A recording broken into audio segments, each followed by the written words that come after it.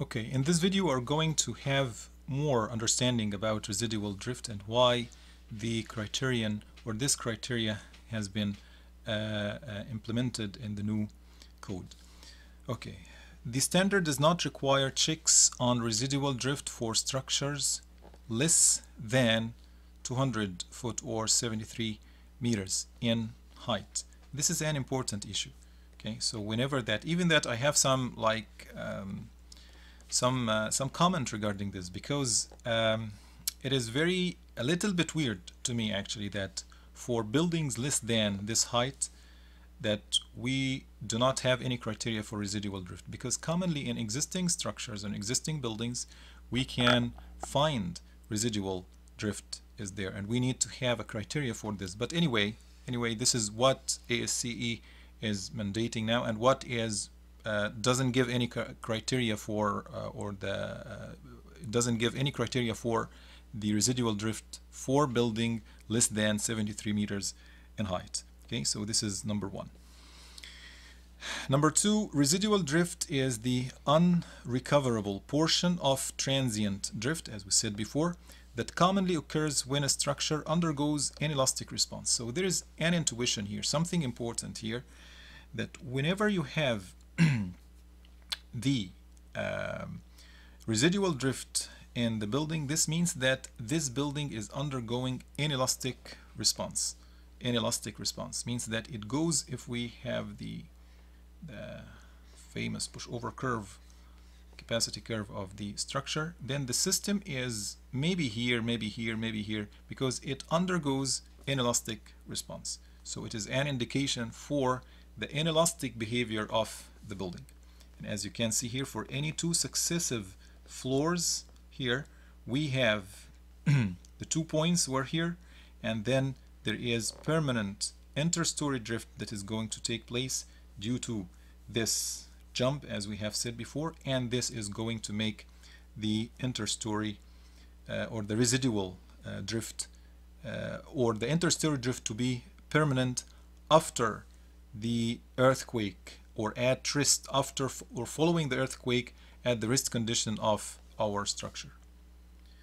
It is computed as, now how we can compute it, it is computed as the absolute value of the largest difference. So we have the word absolute here, which is the absolute value. Sometimes we have the building, for example, it is here.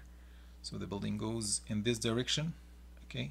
Sometimes this point maybe it can go to this direction and this point go to this direction okay? So we are talking about the absolute here the absolute value. How much difference between the two successive floors okay? The largest we're talking about the largest of course. Difference of the deflections of vertically aligned points they are like as we said here vertically aligned points at the top and bottom of the story, we're talking about a story, under consideration, along any edge of the structure, we're talking about the edge of the structure. You can come here, for example, and you can get it or obtain it. Following completion, this is important, following completion of the structure's response to earthquake motion, because as I have said to you, it is like the building is at rest here, okay? I mean that it is there is a permanent uh, permanent kind of residual drift here because the structure is stopping. So we are going to find the structure is as if as if it is inclined something like like this. So this means that there is a residual drift. Okay? Okay. Now residual drifts are an indicator of potential incipient dynamic instability as we said. This means that there is some dynamic instability okay? And structure engineers should always check for it and take care of it. Okay? Because from inside this is a building real building actually. And uh, you can find that this is after or following the earthquake. You can find the the columns here are inclined. This means that there is a kind of permanent permanent residual drift is being there. And also you can find it maybe here something like this we're going to find there is a kind of uh, residual drift also from the outside. Limiting residual drifts is an important consideration for post-earthquake operability and for limiting financial losses.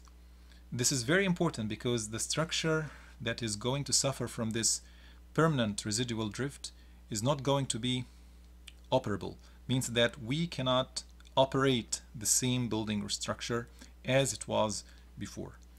But actually such performance goals which is the operation of the building post-earthquake and the financial losses and so on.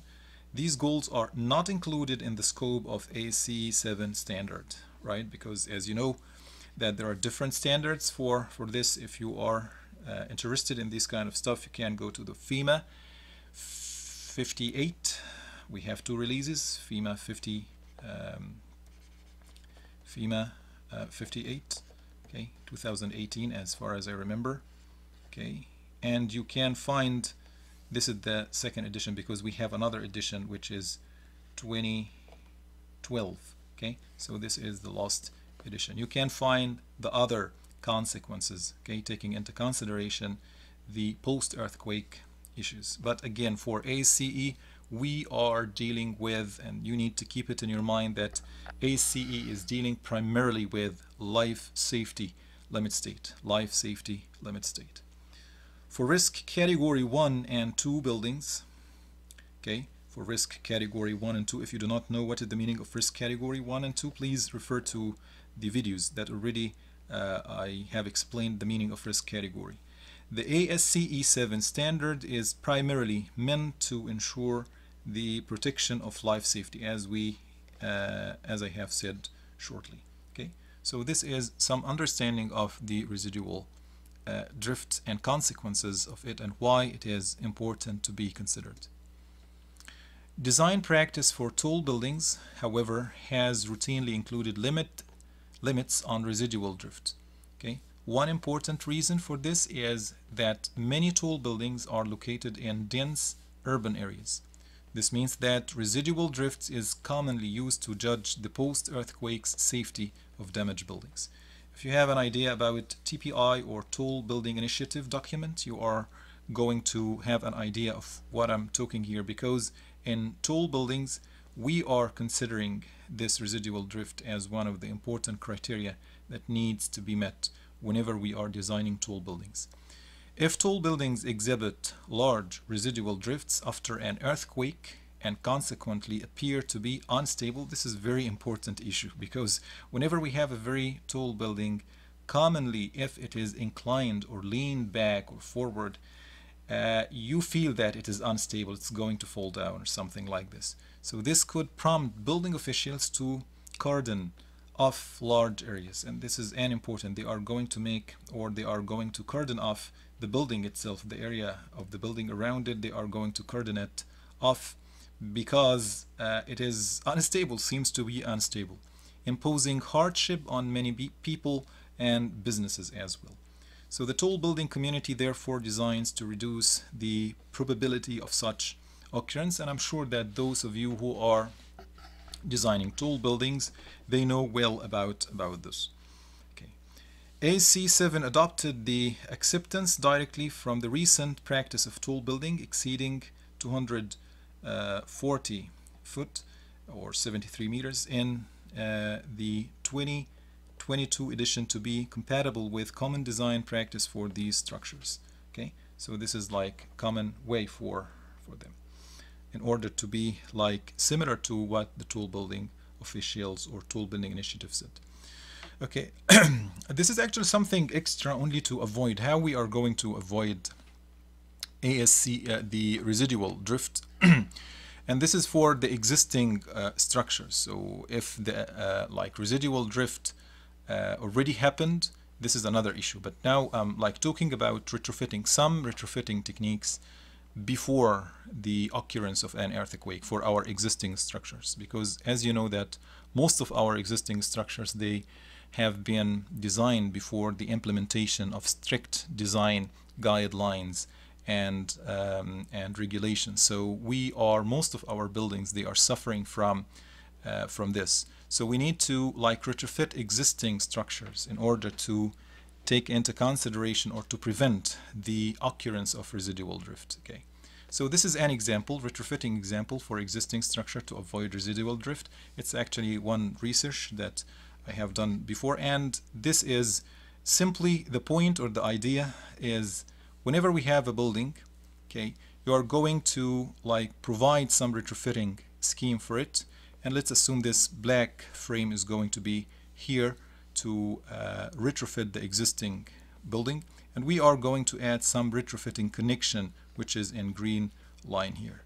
This retrofitting co connection, it is a little bit complicated. I do not want to dig deeper into it because really it's a little bit complicated. But anyway, inside this kind of retrofitting connection, we put some damper and some springs and so on. And they are, these kind of springs, they are like trying to recenter the building again. So if the building goes in this direction, the frame from outside is going to like bring back the uh, structure to the plumb uh, uh, vertical condition means that it is going to bring it back, recenter it back to the center line. Uh, and when we have done this study, we found that this is the original earthquake, for example. I think it was for 10% in 50 years. so this is a design earthquake like for return period of 475 so there was as you can see residual drift here. But after adding the retrofitting technique we found that the no residual drift for the building. And for another level of earthquake it was like in 2% and 50 years means that 200 or 2475 uh, years return period. The structure the bare structure without retrofitting it was like suffering from a huge residual drift but after adding this kind of technique or example of retrofitting we found that almost there was no uh, residual drift. Actually this is only an example. There are many examples in research fields uh, there is a wealth actually of examples and retrofitting examples. Uh, you can find it.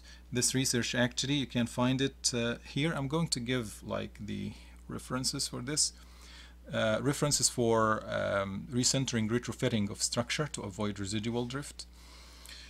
This is a very nice paper actually, you can find it, it was released I think 2014 but it is really uh, very good state of the art at that time uh, for self-centering seismic lateral force resisting systems. It's very nice and it has very good uh, references inside it if you are interested in this area. And this is actually my uh, my paper as well. It is called Performance-Based Seismic Retrofit of RC Structures using concentric braced frames equipped with friction dampers and disc springs. And this is an engineering structures. If you want, this is the the link of it, and if you want, you can use the QR here. Sorry for using this here. You can uh, like get the PDF, the full PDF of this uh, of this research. In the introduction part, you are going to find a very good um, literature literature review of the existing um, uh, references and studies regarding recentering till 2021. Okay, this is the end of this uh, of this video. Thank you for uh, listening and see you in uh, a future video.